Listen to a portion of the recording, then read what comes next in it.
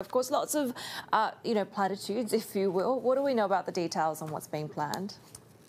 Well, you were right at the top of the show when you said that we are listening to Xi Jinping's speeches and what he is telegraphing a lot closer these days because just about everything that has transpired on the regulatory front over the last 10 months or so, he kind of forecasted or hinted to in speeches. So we have to look at this speech that he gave last night and, and kind of read between the lines and see what he's saying. The, the speech was long on thematics and short on specifics. That is very common with Chinese leaders and their speeches speeches. But what's stood out really were some of these pledges to gradually further open up services sector, financial and potentially healthcare to foreign investment, and also drive programs that lead to free trade uh, zones and the like. But the one that really stood out was this new uh, board uh, that they're going to launch in Beijing uh, that will um, essentially uh, what Xi Jinping saying, drive innovation, particularly in services. Let's hear from the president.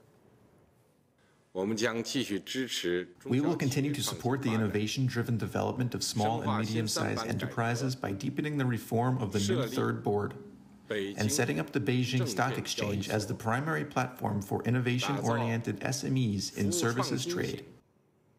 So some would ask, well, don't they already have the star market in Shanghai? Well, that is potentially, well, it is focused primarily on technology companies, medium-sized enterprises. This board, as we just heard from Xi Jinping, could be more focused on innovation in services. We have to see because there were a few details uh, in that speech. But when Xi Jinping speaks, all the others in the various departments get moving and start acting on it. So we'll likely see details coming forward. The CSRC was already out, that's the securities regulator, already out with a statement right on the heels of that speech saying the new exchange is an important measure to implement our national innovation driven development strategy and continue cultivating new drivers of development. Now, how will this market shape up? Well, very likely it's going to be a revamp and a reform of the existing Beijing bourse called the NEEQ, which was set up in 2013.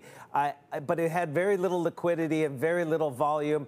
Uh, it had lower uh, listing requirements than Shanghai and Shenzhen, but really didn't take off. So what we're likely to see uh, is a reform of that market it's called the new third board, by the way, for mm. the hmm. last eight years, but no one knew about it, really, uh, outside of the tight investment community. But they're going to reform that, and select companies that are already listed there will move to this new unnamed Beijing bourse. So, Steve, everybody knows about Alibaba becoming the latest big platform company to pledge to support Xi's common prosperity drive. Can we expect all the others who have come under the thumb of this crackdown, whatever you want to call it, to step up and do the same?